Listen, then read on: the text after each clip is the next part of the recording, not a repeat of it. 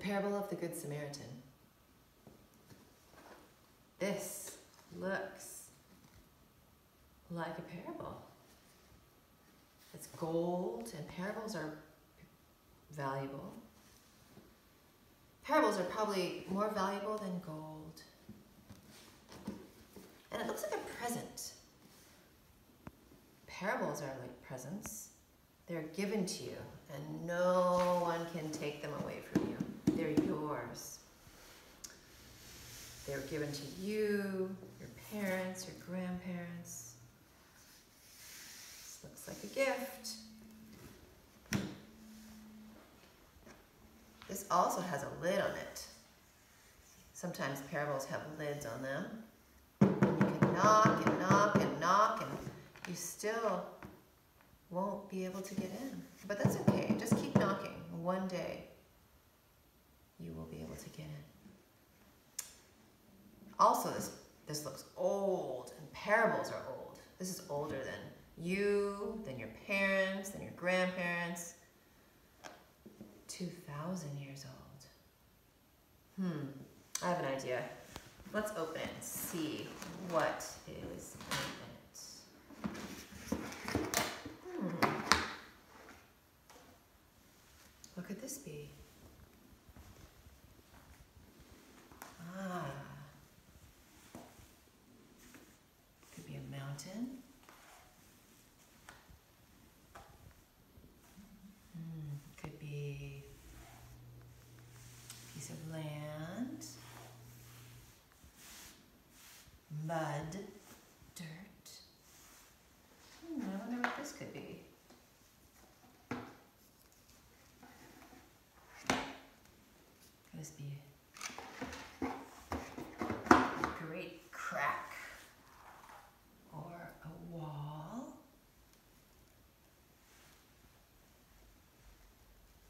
Could be a road.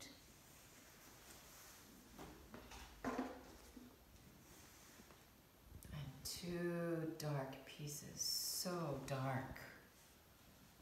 So dark. Hmm.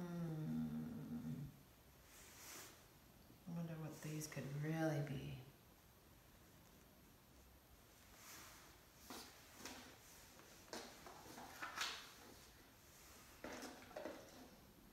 Once there was someone who did such amazing things and said such wonderful things that people began to follow him.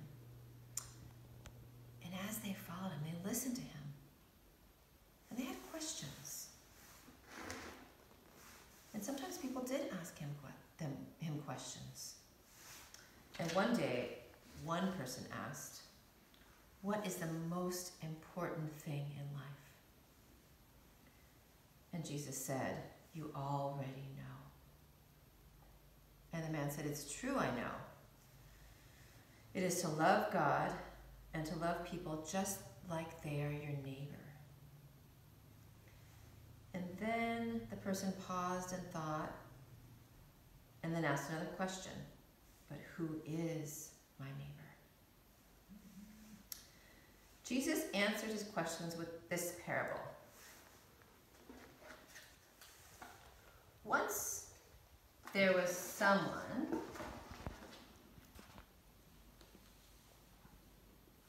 who went from Jerusalem to Jericho.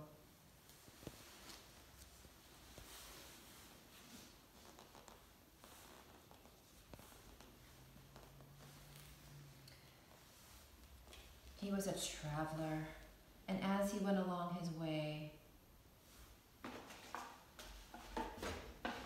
he was walking down the path.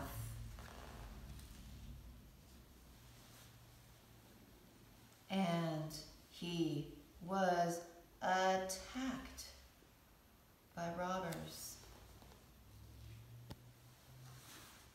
They hurt him, took everything he had, and left him by the side of the road, half dead.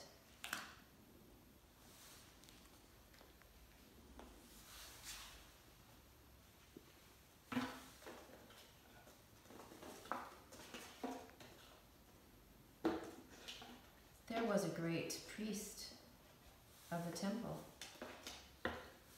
who went on the road from Jerusalem to Jericho.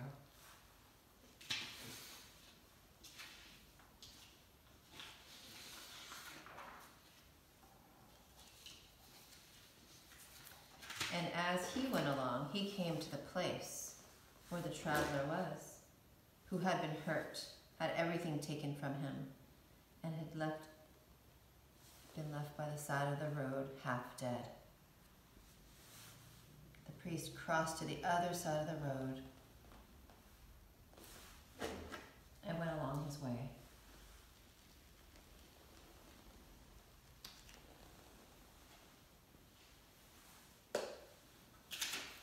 There's also someone who worked at the temple who went along the road from Jerusalem to Jericho. He was one of the people who helped the priests. He took care of the temple and helped with music. He was called a Levite. And when a Levite came to the place where the traveler had been hurt, had everything taken from him, had been left by the side of the road, half dead, he crossed to the other side of the road and went along his way.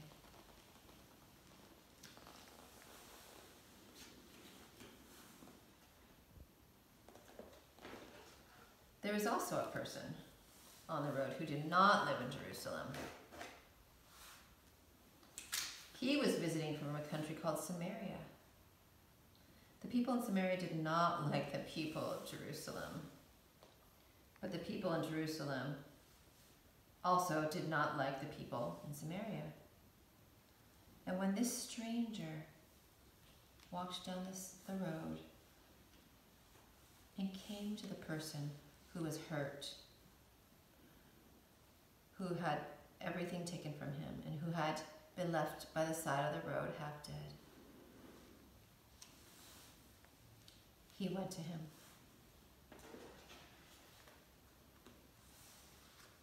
The stranger put medicine on the places where the traveler was hurt. He gave him a coat to put on. He put him on his donkey and took him to a place to spend the night.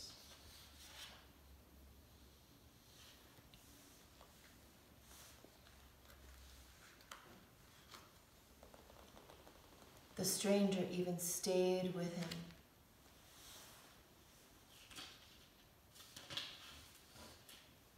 And in the morning, he gave the innkeeper enough money to stay there until he was well.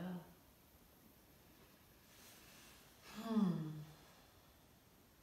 Now I wonder, who is the neighbor to the person who was hurt?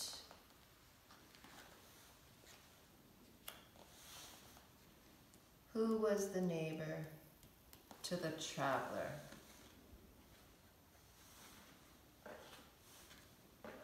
Could it be this one? The Levite? Was it the priest? Were the robbers the neighbors? Was the stranger a neighbor? Hmm. And what would happen if the people in the parable were women? Would they have stopped? And I wonder what would happen if the people were children. Would they have stopped? Hmm.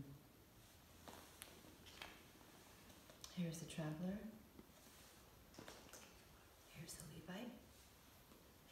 Here's the priest, the robbers, the, uh, the stranger from Samaria, Jerusalem, Jericho, the dark places, the road from Jerusalem to Jericho. Hmm. I wonder what your favorite part was. And I wonder what the most important part was. Now it's time to go ahead and respond to the story.